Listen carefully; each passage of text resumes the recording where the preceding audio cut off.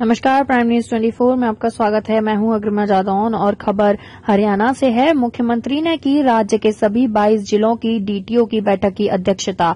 हरियाणा के मुख्यमंत्री मनोहर लाल ने जिला परिवहन अधिकारियों डीटीओ को फेसलेस और कैशलेस प्रणाली लागू करने, परिवहन विभाग में पूरी पारदर्शिता लाने के लिए समर्पित भाव से काम करने के निर्देश दिए हैं, ताकि लोगों को स्वच्छ और भ्रष्टाचार मुक्त शासन मुहैया कराया जा सके।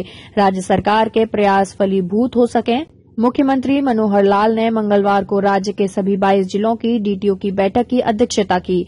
मुख्यमंत्री ने करनाल और गुरुग्राम के डीटीओ को पोर्टेबल वेइंग मशीन भी दी। उन्होंने कहा कि शुरू में विभाग द्वारा 45 पोर्टेबल विंग मशीन खरीदी गई हैं और यही यदि प्रयोग सफल होता है तो इस तरह की और भी मशीनें खरीदी जाएँगी। उन्होंने कहा कि इन मशीनों के माध्यम से ओवरलोडिंग वाहनों पर नज़र रखने में मदद मिलेगी।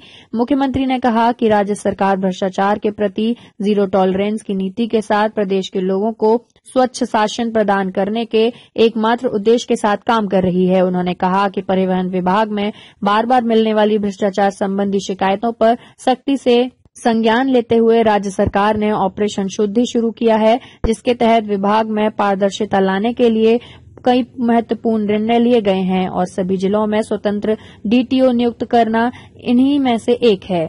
उन्होंने कहा कि न केवल विभाग के 250 कर्मचारियों को स्थानांतरित किया गया है, बल्कि बिचौलिया किस्म के लोगों की सूची भी सभी डीटीओ को भेजी गई है और कार्यालयों में उनके प्रवेश को पूरी तरह से प्रतिबंधित कर दिया गया है ताकि भ्रष्टाचार के शामिल लोगों को उनकी कार्यप्रणाली में सुधार करने का सख्त संदेश दिया जा सके।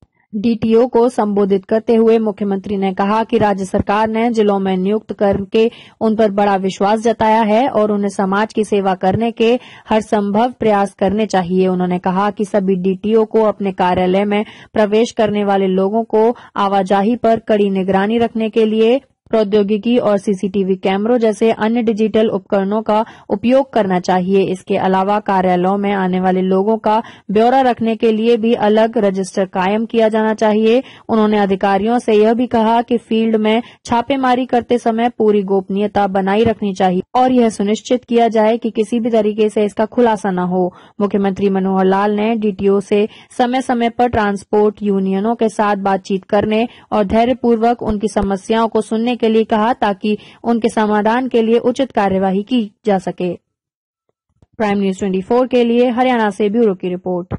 कई बार ट्रक में वेट करना पड़ता है काउंटे पे जाना पड़ता है, इसके क्या है कि नीचे लगाते हैं, उससे सारा क्या है कि वेट का पता लग जाए आपकी गाड़ी में कितना वेट है। पहली ये मशीन 42 मशीन इस तरह की ला रहे हैं और पूरे हरियाणा प्रदेश में ये सब डी के पास और दूसरे असिस्टेंट सेक्रेटरी उनके साथ रहेंगे और पूरे हरियाणा प्रदेश में इनसे काम चलेगा नियुक्ति हो चुकी है, कुछ बाकी हैं जो भी, जो लोग ईमानदारी से ट्रांसपोर्ट का काम करेंगे, किसी महकमे से लाने पड़े।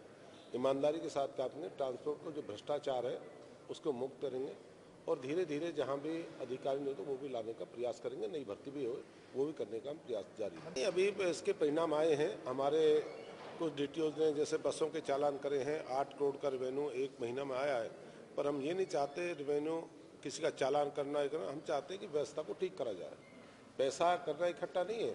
हम चाहते हैं व्यवस्था, जो प्रदेश की ट्रांसपोर्ट की व्यवस्था, उसको ठीक करें और जो ट्रांसपोर्ट के नियम और कानून उस कायदे पर ट्रांसपोर्ट और सभी मिलकर उस पर काम करेंगे।